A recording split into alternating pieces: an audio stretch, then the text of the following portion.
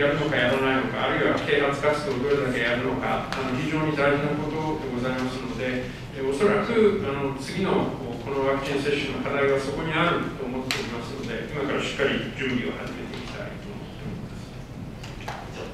はいまあ、ワクチンパスポートの件も含めてですね、多少の反対あると思いますけれども、ぜひ大臣のリーダーシップ、こは突破をしていくべき分野だと私は思いますので、ぜひリーダーシップを期待いたします。なんか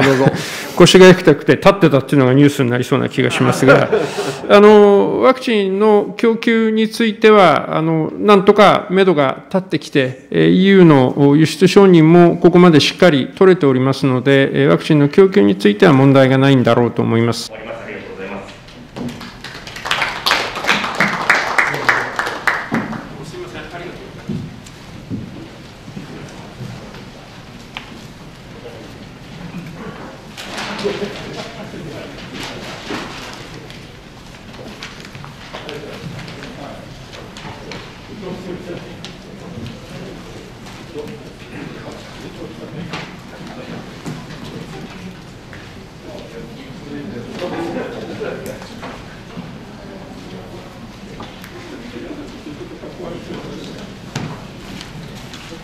次に内閣の重要政策あの大臣、ご事情であの立ったままですけれども、まあ、先ほどから見てると、あのもう立ったままですから、答弁書も見ずにですね、えー、答えられて、まあ、その形だと秘書官からのメモとかも入りませんから、まあ、私はあの 素晴らしいあの今後のね、あの政治の在り方、国会審議の在り方を率先してやっていただけるかなと、まあ、ぜひこういう形を今後、取り入れていけたらいいんじゃないかなと思いながら、今、見ておりました。